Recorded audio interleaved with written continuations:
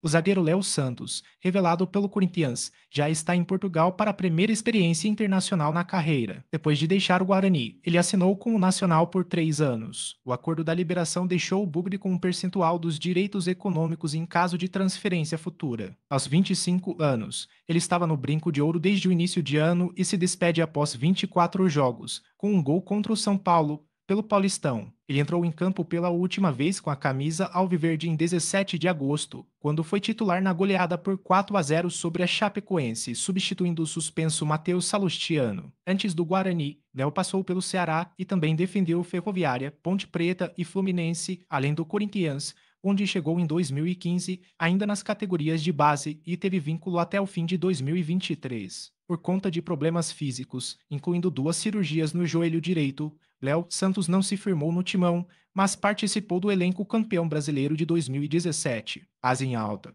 Léo Santos comemora primeiro gol como profissional pelo Corinthians. Outro jogador do elenco bugrino que vai atuar no futebol português é o atacante Lucas Paraíso. A negociação é por empréstimo para o Torrense, da segunda divisão de Portugal, até o meio de 2025, com opção de compra. Veja também